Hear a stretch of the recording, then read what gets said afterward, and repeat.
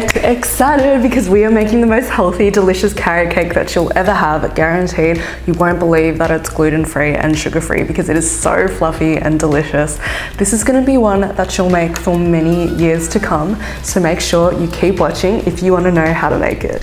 So here are the ingredients you'll need for this healthy carrot cake. So I've got some almond flour here. I love the fine texture of almond flour, but you can also use almond meal, which has the skin on. It'll just have a bit more of a rustic texture. Some desiccated coconut or shredded coconut, some sweetener, and I'm using a stevia baking blend to keep it sugar-free, but if you don't want it that way, you can also use coconut sugar, which will also have a really beautiful caramelly taste. Some spices, so I'm using cinnamon, cloves, nutmeg, ginger dash of pink Himalayan salt, baking soda and baking powder and some optional mix-ins. So I'm using some chopped dates but normally I would use sultanas but this is what I have on hand and I've chopped them into kind of a sultana size as well and some nuts of choice. So you can use pecans, walnuts, they're more traditional, but I'm using what I have on hand, which is some macadamias and pumpkin seeds, and I'm going to roast them at 175 for about eight minutes until they're nice and golden and have that beautiful roasted flavor. So for the wet ingredients, obviously some carrot that is the star of this recipe and it's super good for you and we're using over two cups of vegetables here which is amazing five eggs and some olive oil. Uh, you can use whatever oil that you like, but I love the health benefits of olive oil. They're packed full of good fats. And some vanilla essence or vanilla paste or vanilla powder, whatever you prefer. I'm using vanilla paste today. So this is all you'll need for our healthy carrot cake. Let's get started. So friends, in a large bowl, we are going to add our three cups of almond flour, all the dry ingredients essentially. Our sweetener, as mentioned, I am using the stevia baking blend, but you can use coconut sugar, normal sugar, if you don't care about it being sugar-free, but I guarantee it still tastes amazing. Some shredded coconut, and I always make sure that I get preservative-free and unsweetened. In the bowl you go.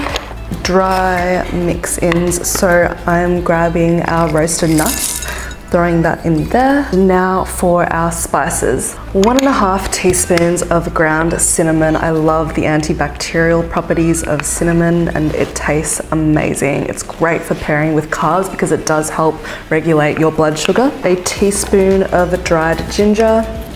Again, ginger is full of antibacterial properties, super good for you. Half a teaspoon of nutmeg in the bowl and a little pinch of cloves use too much because that can be pretty overpowering, but enough will be incredibly delicious.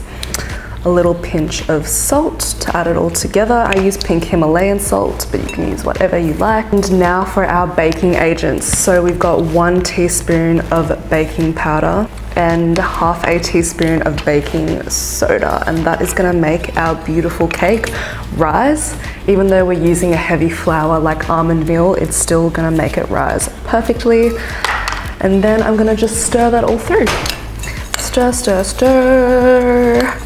It's already smelling so good. The spices and the almond meal are just like the perfect complementary mixture. My almond meal is pretty fresh, so that is why I didn't use a sieve, but if you've got packeted almond meal pre-mixed, which most of you would because it does save a lot of time, make sure that you use a sieve because that's just gonna make it all combine super evenly and have it the butter nice and smooth. So now uh, we're going to add in our wet ingredients and I don't like to use multiple bowls for this so I like to dig a well into the bowl and that's where I'll add all the wet ingredients. So we've got five eggs.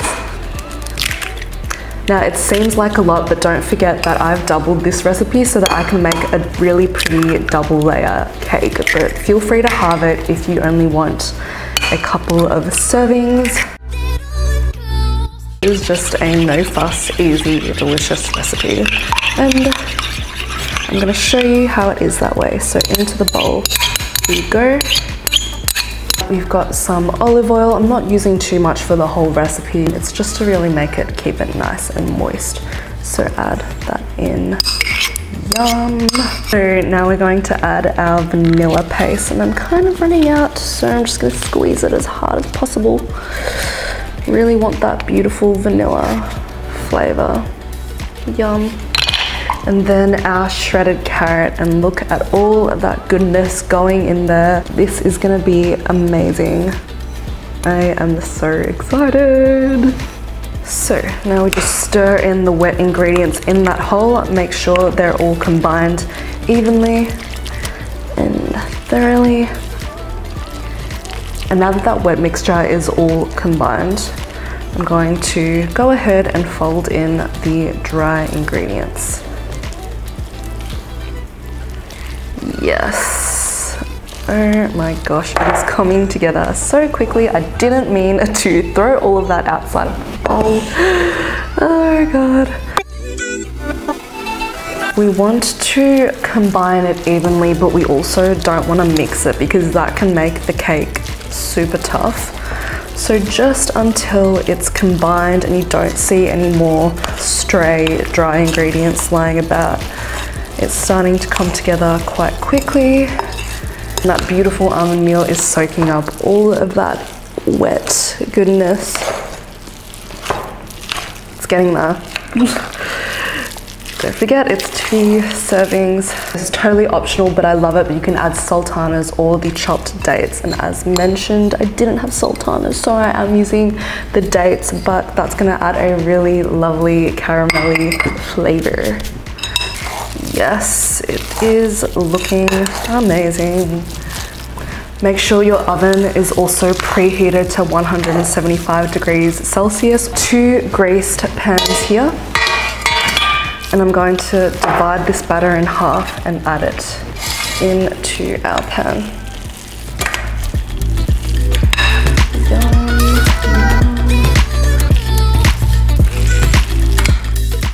just making sure to scoop up like every little morsel because I don't want to waste any of this healthy, delicious goodness.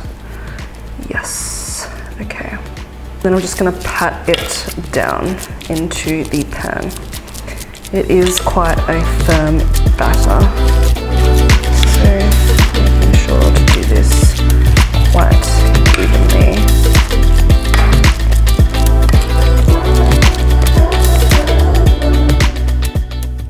So while we wait for our beautiful carrot cake to cook, I'm gonna show you this beautiful cream cheese frosting. I'm gonna show you a healthy hack to lighten it up. You can use Greek yogurt, so that will make it higher in protein, less calories, less fat, but still beautiful and creamy and some added good bacteria as well to the frosting. Totally optional, of course, but I'm gonna use it since my cake is two tiers. I really want it to have that beautiful frosting on top. So I'm gonna add one whole container of cream cheese. And again, this is for two cakes, so do feel free to have the frosting recipe. So one container is about 250 grams. So I'm gonna scoop that all out. I'm also using a low fat cream cheese because I honestly don't know the difference between full fat and low fat. It tastes the same, but one has significantly less calories. So there is another healthy hack for you guys.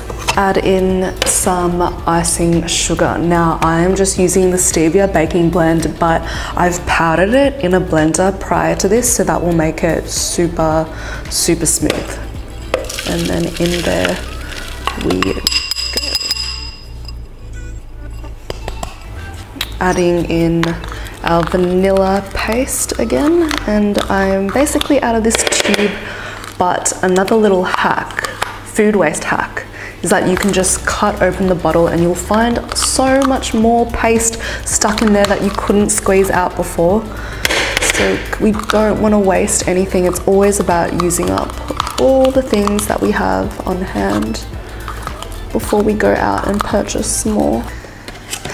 And then I'm gonna add some yogurt to lighten it all up. Again, totally optional, but I do like to add some lemon juice and lemon zest to it because I reckon it's just such a nice zesty flavor that it adds to your carrot cake, really brightens it up. And it's also super good for you, high in vitamin C. So I've got my lemon juicer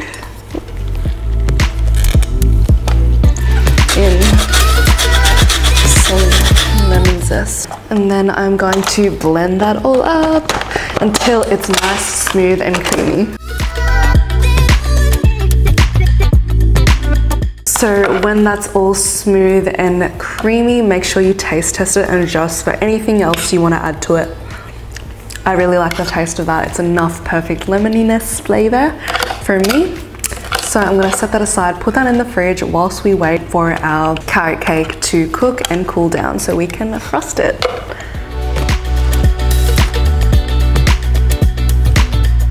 So our carrot cake has cooled and it's so golden brown and perfect. So all I'm going to do is run a bread knife just around the edges so I can remove it from the cake pan